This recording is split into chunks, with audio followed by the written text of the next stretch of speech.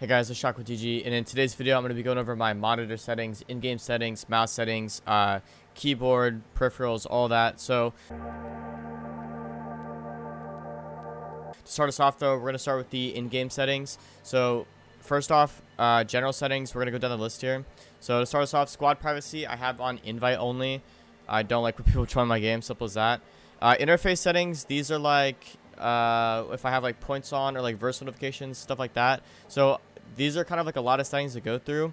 So to not spend too much time on it, I'm just going to scroll through. You guys can pause on whatever you guys want to watch. So I'm just going to quickly scroll through.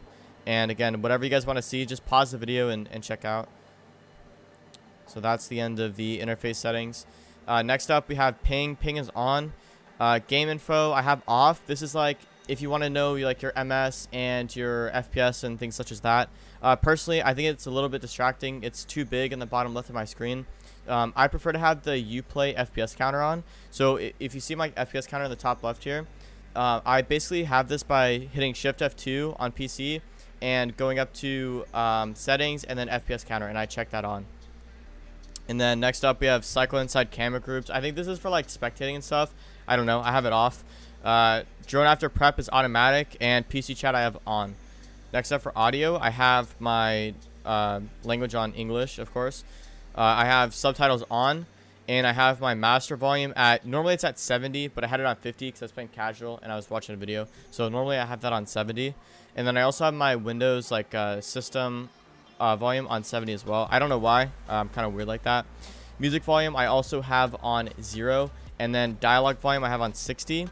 For my dynamic range, a lot of people ask, you know, hi-fi TV night mode. Personally, I use night mode. I don't really have a reason for this. I just know that a big person in the community a couple years ago was like, yo, night mode's the best. I'm like, all right, cool.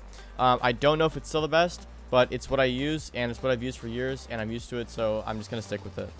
Next up is the voice chat volume. I have this on 70, and I have mute on unfocused on. So basically, I'm in windowed mode now, so I'm not full screen. So if I were to go to my second monitor and not have the siege in like focus, basically I'm, I'm not tabbed into it, uh, all the audio will be muted. So I just like that on. So if I'm tabbed out or whatever. Um, anyways, though, voice chat is on push to talk because I don't want open talk, open talk on. It's just weird. Voice chat record levels on 100. Voice chat record thresholds on 35. And that's about it for audio settings. Onto display.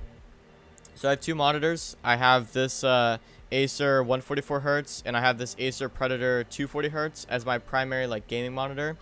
I play in 1920 1080 and I do play in full screen, but again, I'm in windowed mode currently so that I can go to my second monitor for recording in like OBS or whatever. Uh, but normally, of course, it's windowed mode.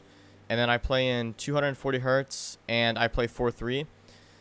Uh, as for VSync, uh, widescreen letterbox, I have both off, and then I also play on 84 FOV. I don't really have a reason for 84 FOV and 4.3. It's just I like 4.3 better, uh, and I like 84 FOV with it better as well.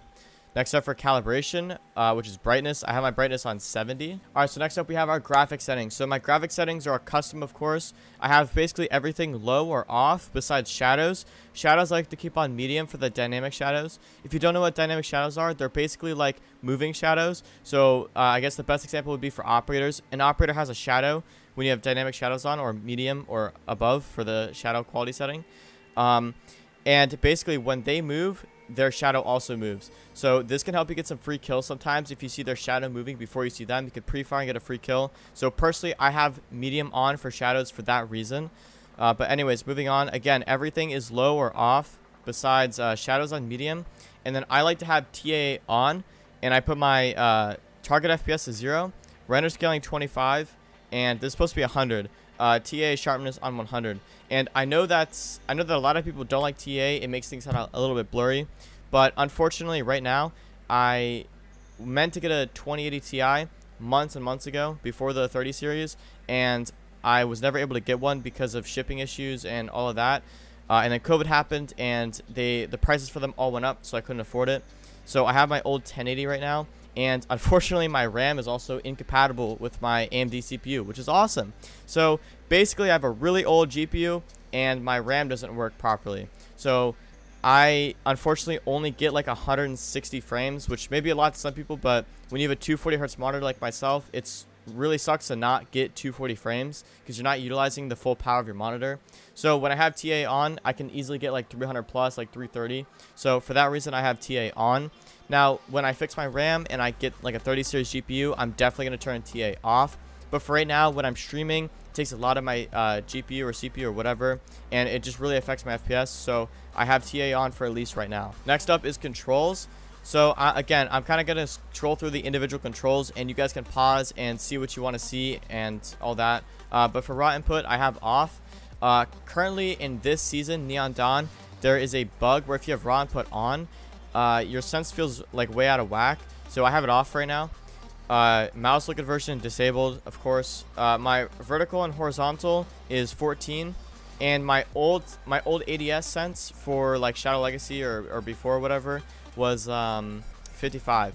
And now for the new uh, advanced ADS, uh, I, again, I'll just scroll through here. You guys can pause and see what you want to see. But uh, yeah, this is my sense when I put it through the converter. Anyways, uh, moving on. Mouse scroll I have disabled, so that means uh, I can't switch weapons with the scroll wheel. Uh, it, gadget deployment is advanced. Drone deployment also advanced. Aim is on toggle. That basically means when I go to aim down sights, I have to click, right click only once, and then I'll stay ADS even if I let go of the mouse. And then I click it again to un-ADS. So a lot of people are somewhat confused on what that is for whatever reason. But yeah, that's basically what that is. I know I'm weird for running it, but hey, it is what it is. Uh, moving on though, lean is on toggle, sprint is on hold, and crouch and prone is also on toggle. And then for the individual controls, again, I'm just going to scroll through and you guys can pause on what you want to see. While we're waiting though, if you guys have not liked this video or subscribed, I really would appreciate it. It would really help me out here or comment for the algorithm. Give me some extra views. I would really, really appreciate that. But anyways, these are my controls. Uh, again, if you guys want to see something specific, I know I'm scrolling pretty fast. Just pause and you know look at what you want to look at. Uh, I don't have too many controls changed. Mostly default, but I do have some specific ones changed. Uh, just for like personal preference. You know, I think controls are personal preference, so use whatever you want to use, but these are what I use. Um, anyway, so that's going to be the end of those. On to accessibility, so reticle settings and all that. I have the purple reticle, and I'm on 100 opacity, and all of these settings are off, um, whatever these are. The, the like voice chat thing, the TTS, I have all that off. I don't like that. Um, so that's about it for the in-game settings. So for peripherals, I'm running the Razer, what is it? The Razer Huntsman Mini keyboard, and I'm running a G Pro wireless with Hyperglides right now. I just ordered like two or three days ago the G Pro Superlight, so I'm waiting for that to be shipped to me. Of course, it's going to take a little bit to ship. Um, but yeah, so I'll be switching to the G Pro Superlight as soon as I get that. As for mouse pads, I have two mouse pads right now that I'm using, surprisingly. I have the Artisan Hien FX Soft or whatever it is. Um, I didn't buy it personally, so I don't know the exact like uh, name of it or whatever. My mod Basilisk bought it for me, so shout out to Basilisk. Thank you for the mouse pad. Um, underneath it though, I have my HyperX uh, extra extra large mouse pad. It's a cloth mouse pad. This is what I use uh, if I'm not using the the artisan pad.